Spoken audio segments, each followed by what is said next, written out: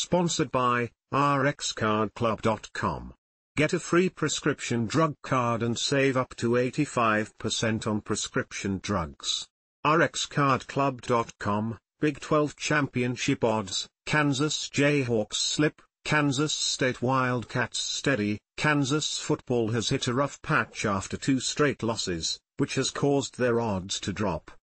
While hopes were high for their Big 12 championship run, recent struggles have dampened expectations, falling to plus 1,200.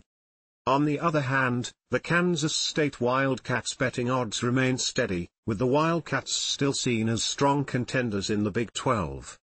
Currently sitting at plus 250, Kansas State continues to offer solid value for bettors looking at college football futures. Their consistency makes them a more reliable choice compared to the Jayhawks, who are now viewed as an underdog. For fans of college football in the state of Kansas, this dip in odds could be a good opportunity to find value in the sports betting market. The Jayhawks betting trends suggest they might bounce back, but betting on them now could come with more risk. Meanwhile, the Kansas State football futures are holding firm, making them a safer option for those following the Big 12 football schedule closely. Kansas on Sports Illustrated. Kansas recruiting, will five-star forward Koa Peat consider the Jayhawks? Can AJ Dybantsa become the next great Kansas Jayhawk?